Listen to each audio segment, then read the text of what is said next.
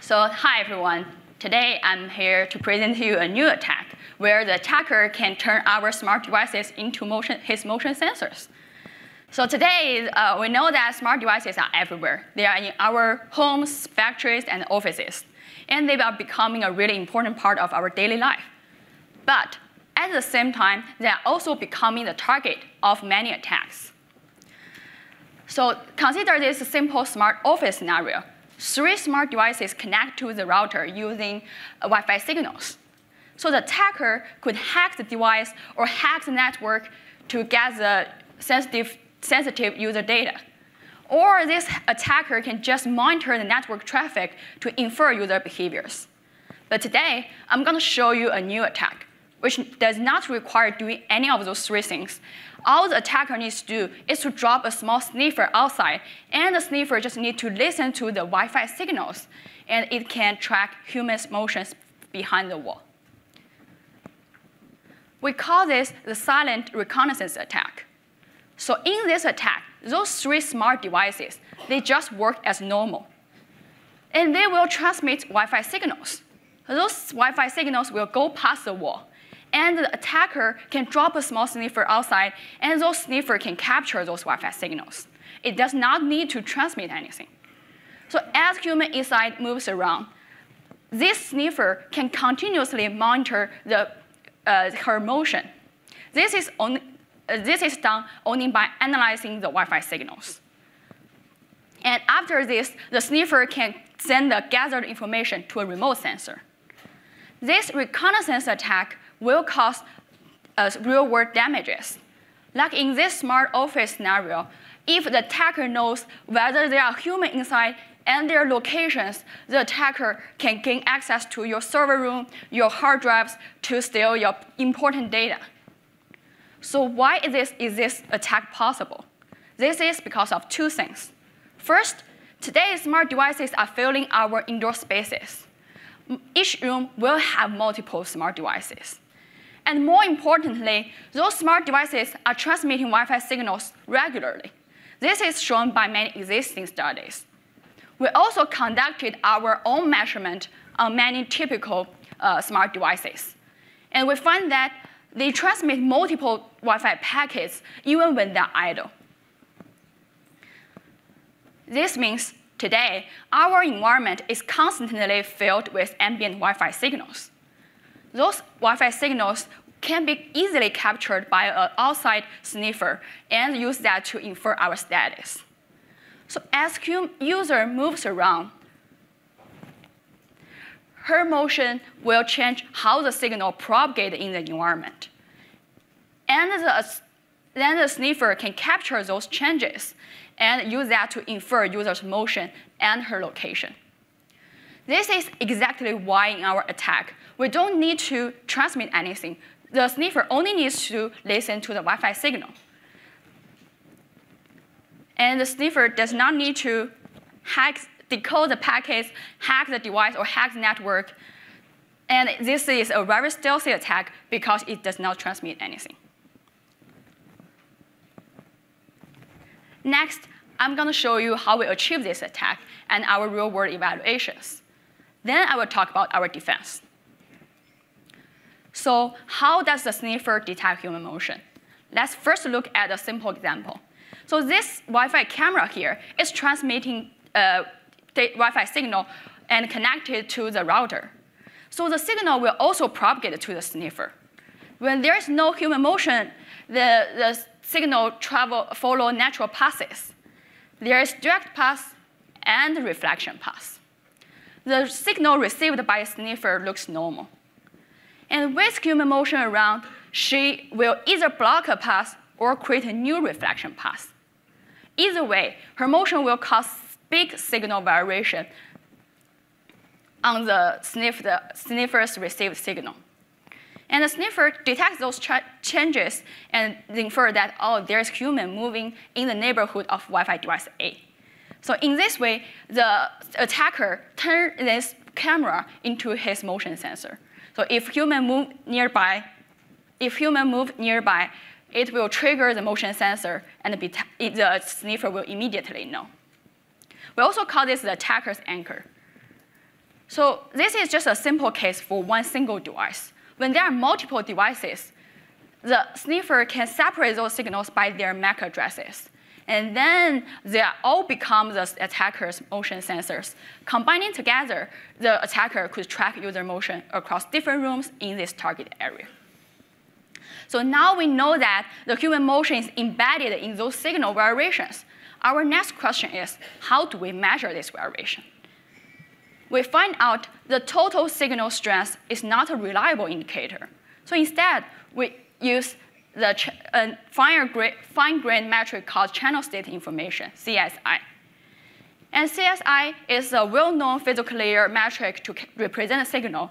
It captures the signal strength at different subfrequencies. So it will give us more details.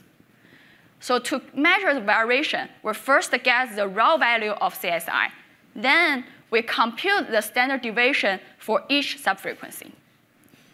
After that, we average those standard deviations across different subfrequencies. We call this the average sigma ACSI. The sniffer can easily compute this metric for each anchor and then monitor them over time. Here is a simple example. This is a simple trace that of sigma ACI, ACSI that the sniffer captured for one specific smart device. We can see that without human motion, the value of sigma ACSI is really low. With human motion, the value is much higher. So, this in, so in this way, the sniffer can separate those two cases. As the sniffer monitors this value over time, it can even infer whether the human is moving away from this anchor or moving towards anchor.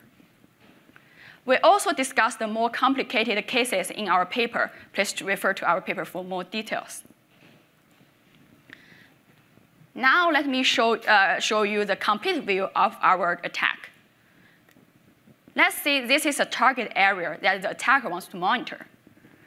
Before continuous monitoring, the attacker needs to run a bootstrapping so that it can identify and locate each Wi-Fi device in their individual room. All this attacker needs to do is to get a mobile unit. It could be a drone, a robot, or even hire somebody to do this. So the mobile unit will just walk around this target place and collect the signal strength for each Wi-Fi devices, and use those signal strengths to locate the Wi-Fi device in their room. Uh, more details can be found in our paper. So notice that this bootstrapping phase only needs to be done once in the beginning. After this, the attacker can just drop a small sniffer outside and starts the continuous monitoring phase we implemented this attack in today's smart uh, smartphones. To do this, we modify the Wi-Fi firmware of Nexus 5 to do passively collect CSI.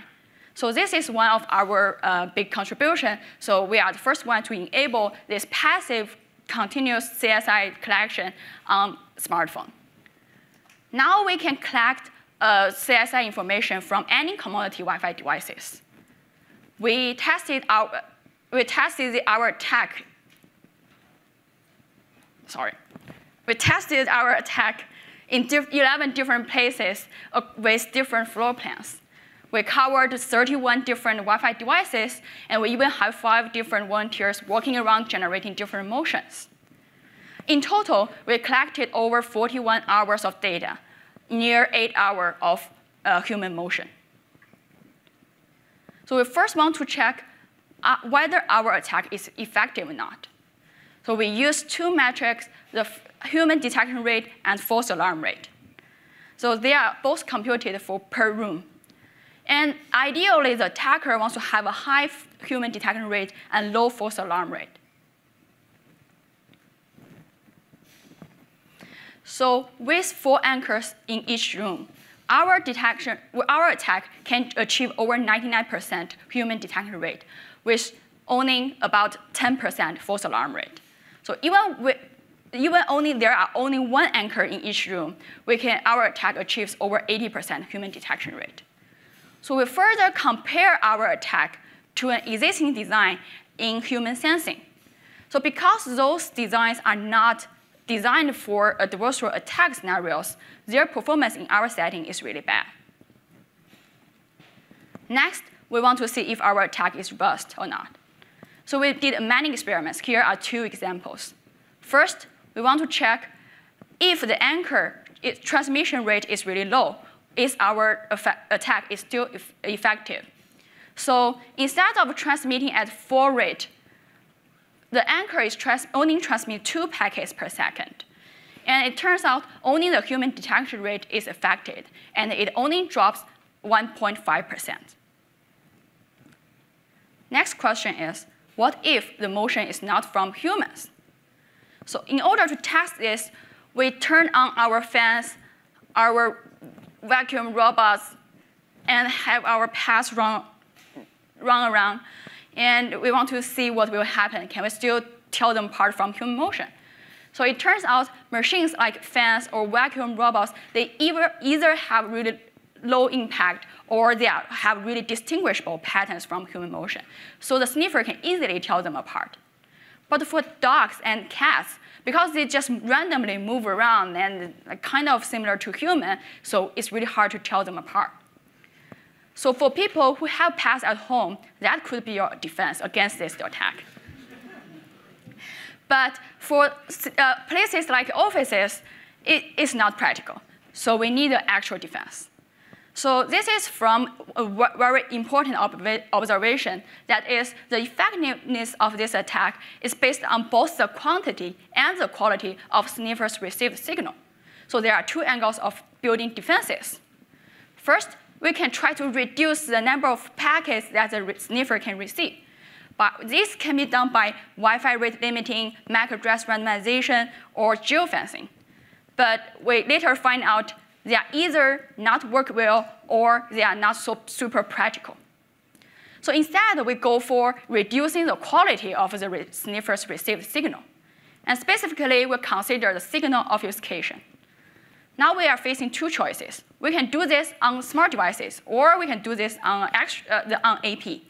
And because we want to keep the smart devices simple, we don't want to modify all the smart devices, so we let AP to implement the uh, signal obfuscation. The high-level idea of signal obfuscation is to add extra variations on top of human motion so that the, attack, the sniffer can no longer tell whether the variation is from human motion or from something else. So we implemented both the spatial obfuscation and temporal obfuscation. So we first let AP send cover traffic for each smart device using its MAC address. So before defense, the sniffer only received signals from this camera. Now with defense, the sniffer can receive signals from both the AP and the camera with the same MAC address. Now the AP cannot tell, okay, whether this signal it received is from the camera or from the AP.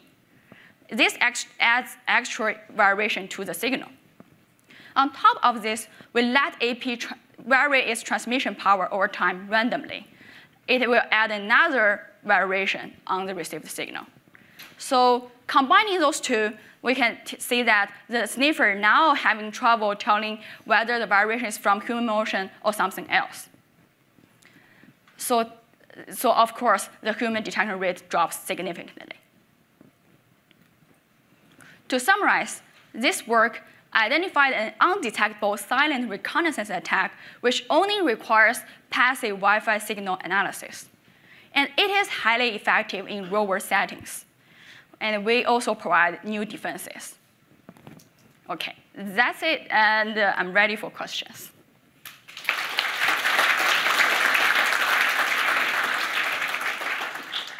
All right, time for questions. I, I just want to clarify, if there are multiple devices yeah. in the room, yeah. and all of them are com communicating at the same time, don't their signals interfere?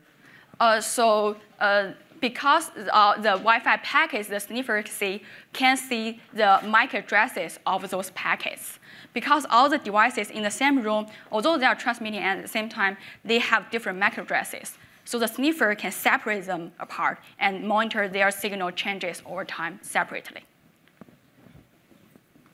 Thank you for the interesting uh, presentation. Uh, my question is, with the technique that you have introduced, uh, could you somehow tell the speed of movement? Uh, sorry. I, I mean the speed, uh, the velocity speed of, of the yeah, movement. Uh, so uh, actually, it, uh, we, although we can provide some information about the motion, we cannot tell how fast it moves. But It doesn't capture that kind of uh, granularity of the movement. Uh, a very interesting work. I'm curious about the threat model. Uh, as you show in your implementation, you are using a smartphone Yeah. to analyze the Wi-Fi signals Yeah. to, to see if, the, if there is a person inside the room. Yeah. And considering the, there is also acoustic sensors on the smartphone, you can directly use the uh, acoustic sensor to tell if there is a person inside the room. So uh, how, how is this new method different from, say, just a, a acoustic sensors? Yeah, yeah, definitely. We, so the, if the attacker's goal only is to tell whether the human inside or not, so we can consider some other alternatives like the acoustic or thermal like uh, images. Uh, but the, the thing with acoustic is it can be easily affected by the, the surrounding noises or other, uh, sorry, so other stuff. So, and also our attack can provide more information than uh, whether they are human inside or not, because we can also track uh, humans' motion and uh, their room locations. Yeah. Got more questions? Hi, a very interesting talk. Uh, I was wondering whether the countermeasure could affect the performance of the Wi-Fi network. Uh, the sorry, the, the, the you mean the countermeasure, Yeah. uh, the AP uh, against AP-based our. AP-based defense? Because it, it injects some randomness into the network. Yeah. It could affect the quality of communication. Uh, yes. So you mean whether our uh, defense will introduce some, uh, will sacrifice something in the net, existing net communication? Yes. So our, uh, our- we did test because the APs will transmit more traffic, right? Because you send out cover packets. So we, but it does not need to send tra- cover traffic for every packet. So and we tested our uh, defense only need to sacrifice a little bandwidth to achieve this effective defense. Yeah. One more question. Hi, this is very interesting. Um, is it possible with if there's enough anchors pr- producing enough data in each room to infer the position of the person in the room versus just is there a person, yes or no? Oh, so you mean can we like accurately localize the person where which where the person is inside this room? Yes. So currently we cannot achieve such kind of uh, accurate localization because, uh, the, uh, yeah, in existing research in uh, indoor localization, maybe they can do this, but they require a lot of uh, information of um, or ac- even active transmitting packets. But in attack scenario, because we have zero knowledge of all those uh, Wi-Fi signals, so what we can do is actually just locate the person in this room, not the exact location. All right, in the interest of time, let's take all of the other questions offline. Uh, let's thank the speaker again.